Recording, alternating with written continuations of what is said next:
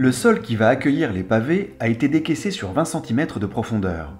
Ce lit, nettoyé de tout caillou apparent et des racines menaçantes, est maintenant couvert d'un feutre géotextile. Il empêchera les remontées de boue qui nourrissent les mauvaises herbes. La surface est désormais nappée d'un sable grossier contenant des cailloux jusqu'à 3 cm de diamètre. Cette surface est damée en prenant soin de lui donner une pente de 1,5 cm par mètre vers le jardin.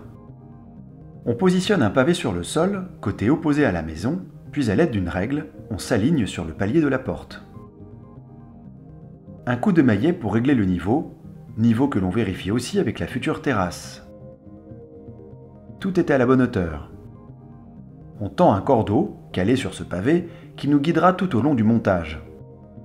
Sur une allée étroite, il suffit d'étaler de façon homogène un lit de sable fin avec des grains de 3 mm maximum. Nous y posons les pavés de bordure tassés à hauteur du cordeau avec une pente toujours de 1,5 cm par mètre. Ces bordures nous servent maintenant de repère pour la pose des autres pavés que nous calons à l'aide d'un maillet. Puis on utilise un bastin en bois que l'on bat à la massette pour aligner tous les pavés au même niveau. En fin de chantier, le sable fin est déversé puis balayé pour le faire pénétrer entre les pavés et jouer le rôle de joint. Un arrosage en forme de pluie et le lendemain vous pouvez à nouveau déverser du sable et recommencer l'opération de balayage pour garnir totalement les joints. Le tour à pied sec d'une maison normande, ce n'est pas du luxe.